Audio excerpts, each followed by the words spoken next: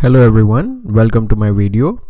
In this video we're going to be looking at this topic Kubernetes static pods and mainly I'm going to be covering three uh, sections. One is actually the difference between normal pods and static pods and I'm going to show you how to create static pods and there are two different methods. Uh, we'll look at that Finally, I'll show you a practical use case of static pods. Let's start with the difference between normal pods and static pods. First, the pods that we normally create. It's the most granular resource that is managed in a Kubernetes cluster. It can contain one or more containers where applications are deployed. You can mount storages as volumes. They get their own IPs, which are temporary and so on. Creating a pod is quite straightforward. You just need a YAML file with a certain pod specification. Then you can use kubectl apply command to create the pod. At a high level, this is what happens behind the scenes. When you execute kubectl apply command, the CLI will communicate with kube API server. Then the kube API server will call kube scheduler service to find a suitable node for creating our pod. Then the API server will instruct kubelet to create the pod.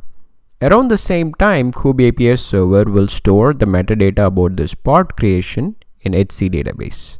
The components like kube API server, and etcd are part of Kubernetes control plane which run on a master node, whereas kubelet agent runs on a worker node you can see how all these control plane components work together to create a normal pod.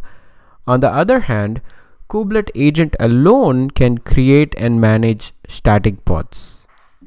If you pay close attention to a kubelet process running in a Kubernetes cluster, you will see that it uses a few config files.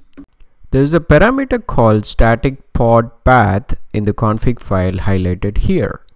Please do note the directory name this parameter is assigned to. Which brings us to the first method of creating static pods.